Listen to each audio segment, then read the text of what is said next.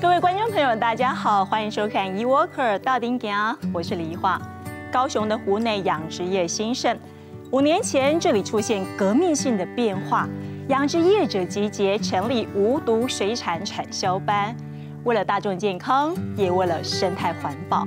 而这一切改变要从这位阿林师说起，他先养无毒虾，再邀集邻居好友一起加入无毒行列。其实年少时，他和一般年轻人一样，洗够大就想离开农村到都市打拼。他从模具厂的黑手做起，很努力当上厂长，管理三间工厂。不过十多年前产业外移大陆，他不想离开台湾，更无法放下年迈的母亲独自在乡下养虾。于是他回到了故乡，接手渔翁工作。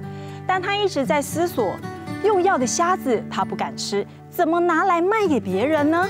良心过不去，于是他决定不用药，被邻居笑是傻瓜，因为不用药养虾密度不能高，只能是惯型的六分之一，而这只是养殖数量，育成率更低的不能再低，只有两成。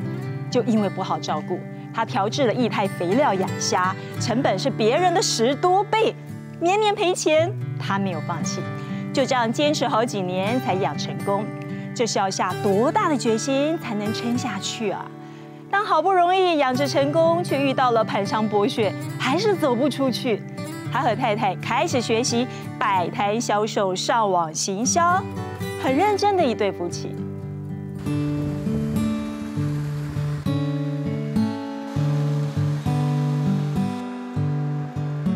出长长虾网，网内一只只白虾不时跳动着。人称阿林师的谢席林手提这一年两收的成果，提起今年收成，仍不免摇摇头。差很多，那那个那个整个大环境都已经改变了啦。那温温度上升太快，然后就变成是酷热，然后虾子受不了，长不大，你还是自要自己吸收啦。而且原物料一直飙涨啊，啊你又不能跟客人飙涨。从小看着妈妈养鱼养虾，二十多年前回乡的阿林师，虽然对养殖业不陌生，真正要接手，一切还是得从头学起。我开始回来养养虾子的时候，买了差不多几十万的书，拿回来看，有的都是你根本没也没有书可以看，只有 paper 可以看。原始原始原原始党的话，全部都是英文。为了养好虾，阿林师做足功课。对他来说，养虾跟很多事一样，追本溯源才能对症下药。先养土，再养水，再来再来可以养虾。把土壤破坏了，你养不了虾，你也种不了东西，这是一样的一样的道理啦。看重水土保持的重要，阿林师每年年底为期三个月的清池工程，就是为了让池子获得充分的休息。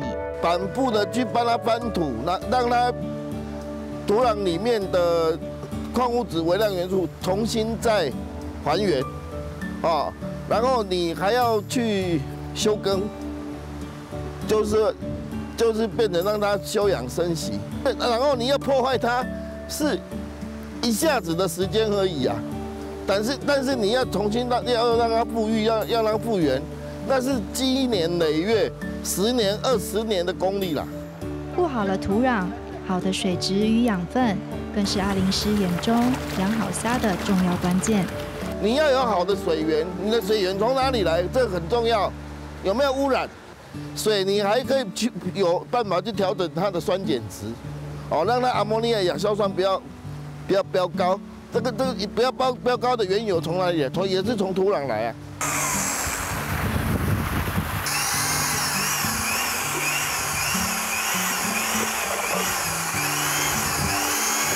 添购好菌、糖蜜等配方，甚至将自己池内淘汰的鱼也拿来一起发酵，制作天然的氨基酸液态肥料。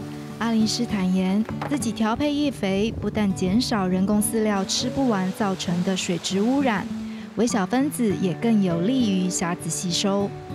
你蛋白质的东西经过发酵分解以后，它变小分子，它就变成是氨基酸的东西啊。然后氨基酸就是我们营养的小分子，它是最容易消化吸收的啦。哦，所以说它成长会快。过去阿林师也用过市面上的人工饲料，不但品质好坏难以掌握，更影响虾子的生长。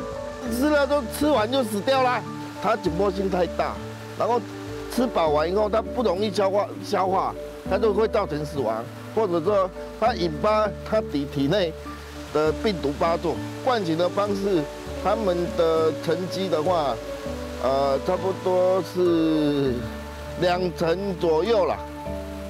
两成的育成率就已经不得了了啦，我这个可以到四成五成了。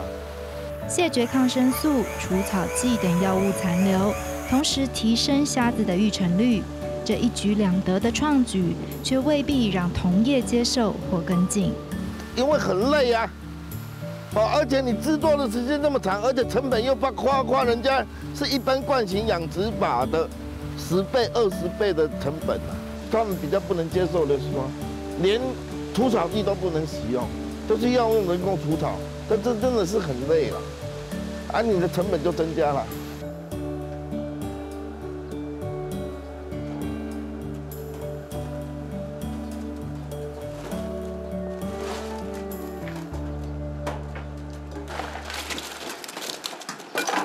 收成的白虾依大小分类，称重包装，一旁的阿玲嫂可是得力助手。徒手分虾不但靠眼力、靠经验，还得要小心，一不留神就会被触角扎伤。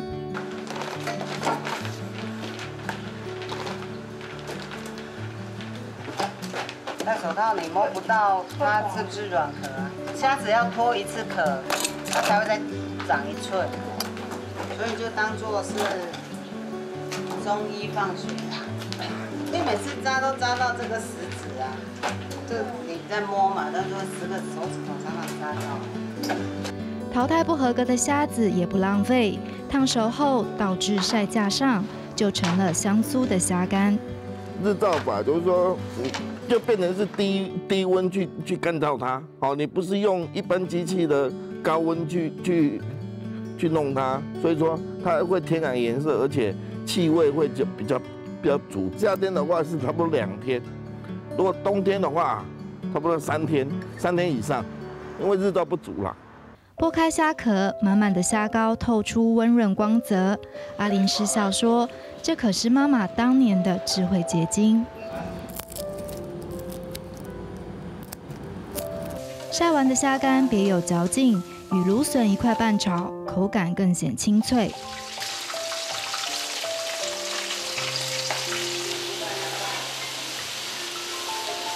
而裹粉油炸的鲜虾，搭配混入蚝油、沙茶等调味料的粉丝，一起搅拌入味，香气浓郁扑鼻。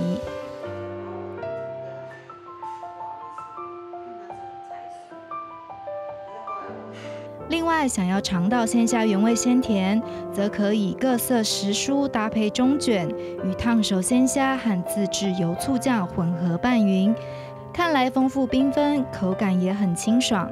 或是在加了姜片、盐巴和米酒的滚水内穿烫，也能品尝虾子最自然的甜味。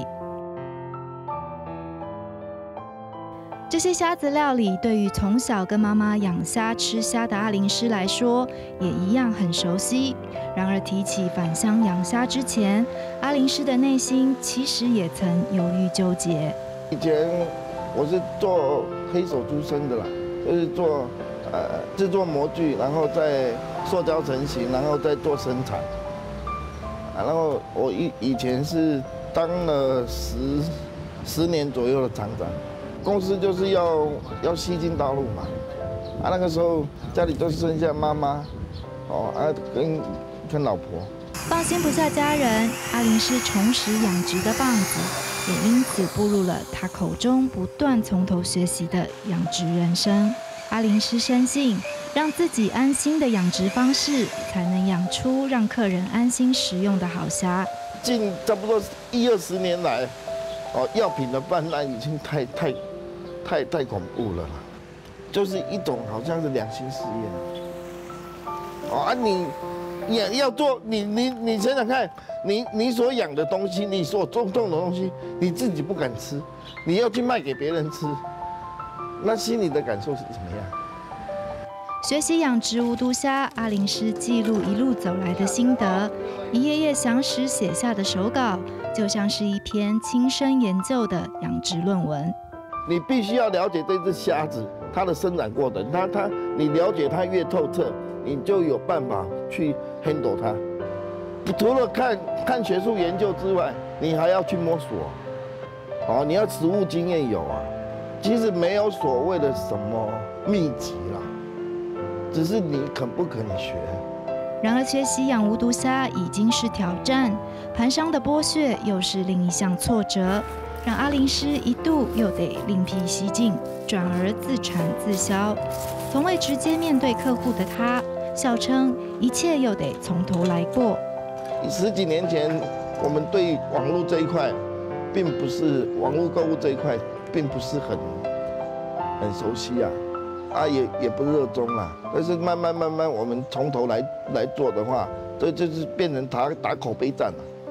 一而再再而三打掉重练，阿林师虽是始料未及，却仍不改骨子里的坚持与韧性。五年多前成立产销班。让拥有相同理念的养殖业者能有合理报酬，而新一代渔民也更愿意接手。台湾话有一句有一有一有一句话说了，说逃题了呀，不是嘛，不要多啊，哦啊，就就变成你在退无可退的情情况之下，就变成你要有这种破破釜沉沉舟的决心，你才有办法再再再继续走下去嘛。这个外表看似粗犷海派，行事却细腻敏锐的养虾职人，秉持着不放弃的决心，要走出养殖业的另一片天空。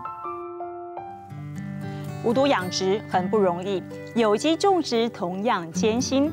宜兰东山有个年轻人叫阿福，跟阿林师一样，刚开始找工作都向往都市生活。现在阿福也回到故乡了，也同样接手家中产业，历史更悠久。阿福是第四代茶农，从小就得帮忙农作，很不喜欢，迫不及待长大出外工作。果真在台北当电子新贵。远离辛苦的农夫生活，但七年前他回到东山，跟着父亲学做茶。一方面是科技业太劳累，二来是听闻父亲想结束祖传的制茶家业。因为东山茶的名气不够响亮，往往被当作代工茶，再加上进口越南茶的低价冲击，许多老茶农干脆就放弃制茶。阿福很不甘心，技术就此中断。他回来帮忙老爸改有机种植，也走网络行销，还利用蝶豆花调配出七种不同颜色茶汤。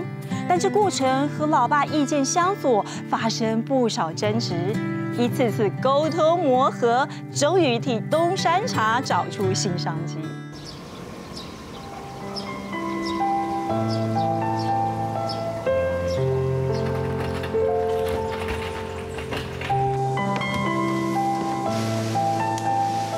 经一夜走水，茶青除去苦涩，发酵，等待香气苏醒。这一刻，哎，你刚炒的时候会会会那个臭虫，啊，炒久就不会哈。啊，会经验过技术咯，做茶每一个拢每一个功夫啦。那我就没讲，每一个做的做茶方法咯，拢无共款。太早起锅，茶青未熟透，难免带些涩味。时间过久又会烧焦。茶叶的好坏仰赖师傅们的经验。真功夫需要传承。七年前，阿福辞去工作，回到宜兰东山老家，跟着父亲开始学做茶。今天假设我不传承。呃，爸爸他们，我可能没有回来这这这个东西。爸爸以前从阿公阿祖到爸爸这个技术断了，我们这样可能四五年的技术就断了。但从前的阿福看到茶叶就反感，拼了命想要离开。然后那时候电子业又是很夯嘛，那时候我们电子新贵啊，一大堆。所以其实我想说，那就透过这个方式，我去学了资讯科，然后想做这个跳板，我有可能就走电子产业，然后不要做茶叶。所以你会觉得说，啊，想起来就好像每天在做这件事情，然后呃，再做一辈子也是这样子，你觉得身体就是那种浓的那种很很怂的那种感觉。总在离家过后，才能体会故乡的好。倦鸟在都市丛林里精疲力尽，想归巢了。呃，联曼兄弟的情况，其实以前叫电子新贵，在我那个年代叫电子蛙贵，对，赚不知道什么钱。你付出很多劳力跟脑力，去完成一个工作，没错，你做好了，你钱是可能会比较高，没错。可是相对的，你你用你的时间跟你的身体去换出来的钱，你没时间去，没有办法去花。十多年前，当价廉的越南茶大量倾销台湾，茶叶销售变得更艰辛。他的父亲游元义原先想放弃茶厂，决定不再做茶了，但没想到此时阿福却辞掉百万年薪工作，说要回家乡卖茶。进来啊，我阿姨，你意他意见跟我们意见不一样嘛？他意见我们不接受，我意见他不接受。总讲做茶经验，伊无啥要接受啊。安尼。啊，今嘛？啊，今嘛做酒管嘛随意啦。有时要甲讲讲，唔讲有阵拄好。伊向卖茶啊，做茶还不行啊。尽管嘴巴很硬，但做父亲的还是心疼孩子。毕竟做农太辛苦。可是阿福心里想着的，却是怎么替太过局限在地市场的东山茶找活路。我觉得我讲的东西是我看到的，我觉得是一个机会的。可是以他们角度来讲，他们认为说你是一个高丽娜，你搞谁啊？就是你根本就没有任何的一个作为，你怎么可能看到东西就一定市场是这样做，然后一定有机会？所以他们会不认同我的讲法。为此闹家庭革命，父子俩吵过好几回，但阿福不甘心，老茶厂就此没落中断。在过去，东山茶品质虽好，但碍于名气。不比平林花莲响亮，往往沦为代工茶。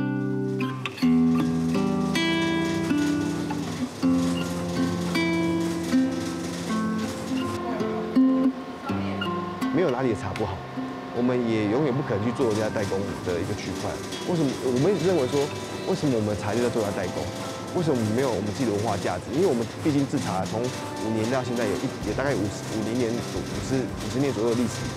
只是为什么我们永远都是在一个一个被掩盖在下面的一个区块，而不是被看到？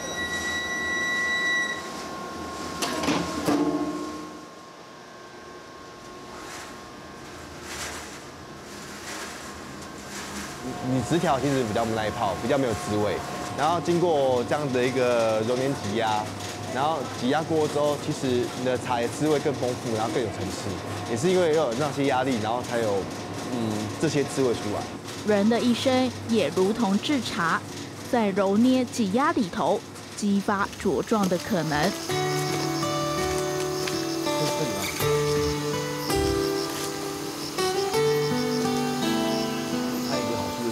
看这四周围是只有树林，然后就茶园，其他没有东西，所以这里几乎没有污染源，然后也是茶园，也是最高点。就是我们是在制高里面种茶，所以它等于它生态跟整个环境都是很棒。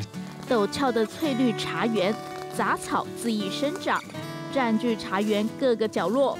他采茶还得剪除草。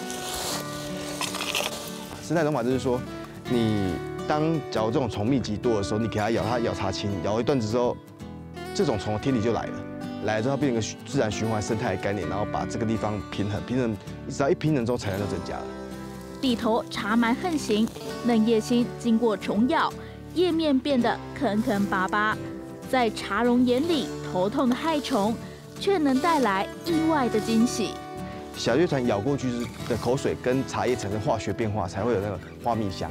所以其实它最主要就是咬过之后，茶植物本身的一些变化性，然后产生了一个特殊的花蜜香之后，做成红茶，反而是区隔于市场一个很好的一个花蜜香的特色。上天给的礼物，成为惯型茶园转型有机最好的跳板。改做红茶这条路，则像是敲门砖。红茶想要做有机的话，它是基本的一个条件是相符的，因为红茶本身是不喷基本上不喷农药，但是有些还是会喷啊。而我们家走有机化当然不能喷，那你不喷农药，你虫咬密度越高，反而甜度是越高的。对，所以它等于它的根法就是完全不，你不要用药，反而是品质越好。所以相对你做有机是刚好相辅相成。有机根法种出的红茶不苦不涩，带有花蜜香，但种出好的茶叶来，怎么卖也是道难题。熏好的柚花茶，淡淡清香扑鼻来，这是阿福父亲游元义多年研发的创新。一天四个小时一熏嘛，没味道的时候花干，这个就丢掉了。第二天再摘新花再熏，叫二熏，所以基本上要熏五熏，五熏味道才会到定位到茶叶里面去。花茶做工繁复，得反复采集，拿新鲜柚花熏香，烘焙时间长，不用香精求速成，成本相对贵得多。现在的花茶的花期短，所以像我刚才讲的说，花期都两到三个礼拜，你要抢时间，你要采花，你采花工，然后花的成本。然后熏花工这些都比原本的茶叶的来讲多了三道手续，你这三道手续来讲成本就会多三三个东西嘛，所以一般如果你这样做，你到底要卖多少在台湾都是一个很大的问号。但刚开始这样的纯天然受限于宜兰在地，老一辈偏爱喝乌龙茶，总打不开花茶市场。我发现国外花茶其实它的价格是反而是高的，是贵的，甚至被人家推崇。那为什么我想说我们自己本身有这样的能力，而且我们的花茶有特殊性，也有市场性，那为什么呃只会在屈就于在宜兰这个区块而已？就像熏花茶不会一次就入味，销售也只能慢慢来。某次偶然机会，阿福接触到把货批发到法国的台湾批发商。这才把花茶成功推出去。台湾很多东西是速成化，我今天要经济效益，要速度快，所以很多东西商业化之后，这种传统功法的传统价值就消失了。那我觉得很可惜，这是台湾的文化跟价值。那今天如果我们把这东西照传统一样做，然后把它持续的做，然后坚持做下去，让外国人看到，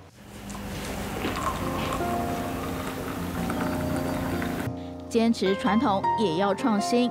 过往茶汤颜色仅有红、青、绿三种基本色系，它靠着简单的蝶豆花，延伸出七种不同色彩。花跟茶浓度比例要正要一样，呃，应该说不是一样，是要均衡。如果你今天有个东西浓度过高的话，它颜色跟清澈度就不够漂亮。所以基本上在调的时候，有时候之前是花太多，然后有时候是茶叶太多。调配过程难免会失败，但走过挫折才能绽放缤纷。如果茶汤有不同颜色，有多一点缤纷的颜色，那喝起来它是不是喝起来更有它的一个独特的风味跟独特的一个呃，可能说喝的氛围。茶叶东西在传统这一块永远都被局限在于很专业化，就是很专业化是这种古色古香的专业化。那为什么不能像咖啡一样联系市场？因为咖啡有专业，它的深度跟专业化没错，可是它也有它跳出另外一个年轻市场。可是茶叶永远都给人感觉是一个永远的距离感。尽管火候还是不够，但阿福越挫越勇，努力扭转东山茶的逆境，盼着能有一天大家能够记住，宜兰也是茶的故乡，再现昔日风华，东山茶香代代流传下去。处于逆境，千万不要气馁，怕等秋果等得用。稍后来看一位机车黑手全身瘫痪，奇迹重生。可是我爸进来，我就看他捂着嘴巴，就走到我耳边说：“哎，你兄弟爱坚强，但是我其实很难过，塞 塞满管子的毛巾其实都已经湿了。对，新品来是很干净。但我觉得钢铁人他的电影是很有励志性，因为他真的是为了保护家人啊，跟他的爱人啊，就即使再怎么样站着求真是伤，还是要。捍卫自己身边的人、家人。